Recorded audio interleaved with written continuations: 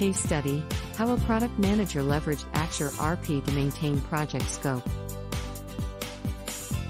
Mohan, an experienced product manager, was tasked with leading the development of a new mobile application for a financial services company. The project had an ambitious scope, encompassing various exceptional features like account management,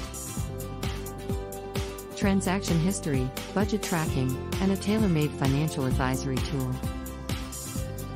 As the project progressed, there was a potential risk of scope creep, which could lead to the development of unwanted interfaces and features. To address this challenge, Mohan decided to leverage Axure RP, a powerful prototyping tool. To visually represent the application features and interactions, he utilized Axure RP to develop highly accurate wireframes and prototypes. Showcasing the user flows, features, and interface elements of the application in exquisite detail.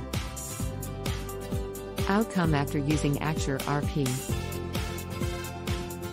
1. Prevented scope creep. 2. Low or no communication conflicts. 3. Issues identified at earlier stage. 4.